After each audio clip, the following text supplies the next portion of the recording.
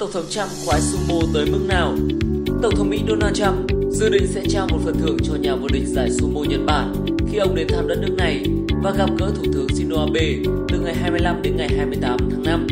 Bên cạnh đó, trong loạt trận cuối của Grand Sumo May diễn ra ở Tokyo vào ngày 26 tháng 5, ông Trump vẫn muốn ngồi ghế xem hơn là ngồi trên đệm như khoảng 11.000 khán giả khác. Quyết định này đang khiến một số người Nhật cảm thấy khó chịu. Cựu cầu thủ NHA bị đánh bất tỉnh tại Ibiza. Mới đây, cựu ngôi sao của giải ngoại hạng Graham Doram đã bị đánh bất tỉnh bên ngoài quán bar The Highlander. Theo các nhân chứng kể lại, Graham bị một nhóm người cầm chai lọ đuổi đánh ra ngoài cửa quán bar trước khi bị bất tỉnh vì dính đòn hiểm vào đầu.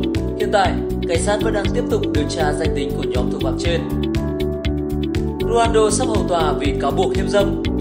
Ronaldo sẽ nhận được giấy triệu tập của tòa án trong thời gian tới sau khi đội ngũ luật sư của Karim, người khởi kiện, đã tìm ra địa chỉ nhà của Ronaldo tại Italia.